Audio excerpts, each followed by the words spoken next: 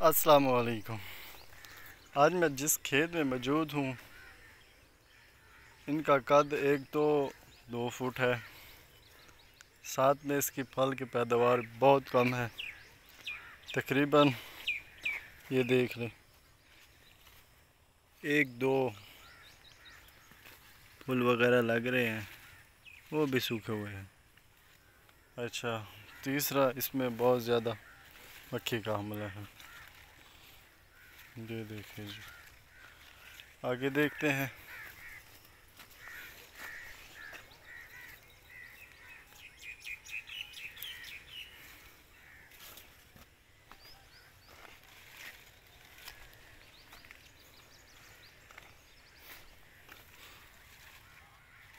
ये देखिए इस पे फल वगैरह लग रहे हैं, लेकिन ना होने के बराबर ही है।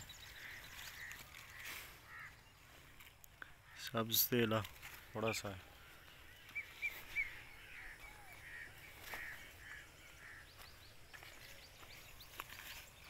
ये देख सफ़ेद मक्खी।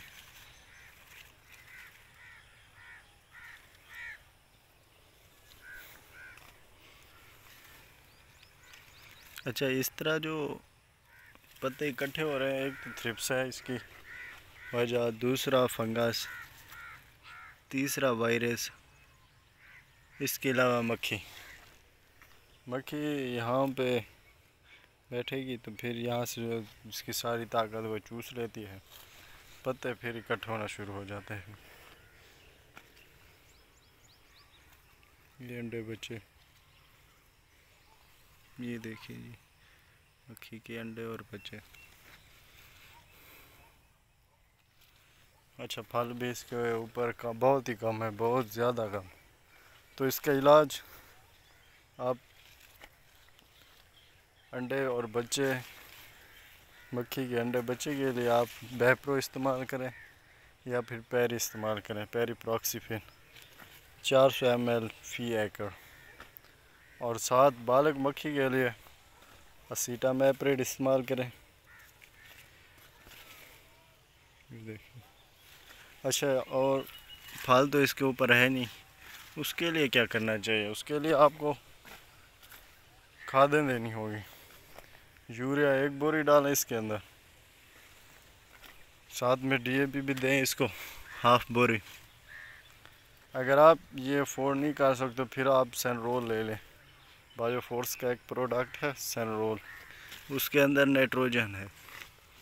उसके साथ आपको पाँच से दस किलो यूरिया मिक्स करनी पड़ेगी। उसका बहुत बेहतरीन रिज़ल्ट है। ये चीज़ें हैं, आप इसको दें इन बहुत बेहतरी होगी।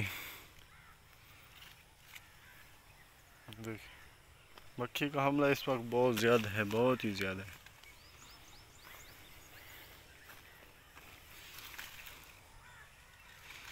एक पौधे पे तकरीबन 50 से 60 मक्खी बैठ हुए है, या इससे भी ज़्यादा हो सकती है सौ तक हो सकती है। ये देखिए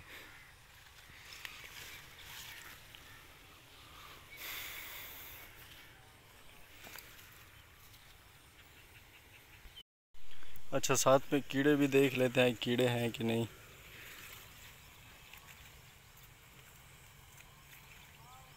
ये देखिए।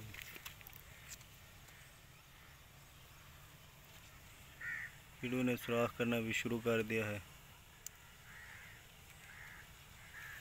इसके साथ आपको एमामैक्टन और लूफिरान का मिक्सचर मिल जाए वो भी बेहतरीन है वो इस्तेमाल कर लें या अकेला लूफिरान मिल जाए वो इस्तेमाल कर लें आप।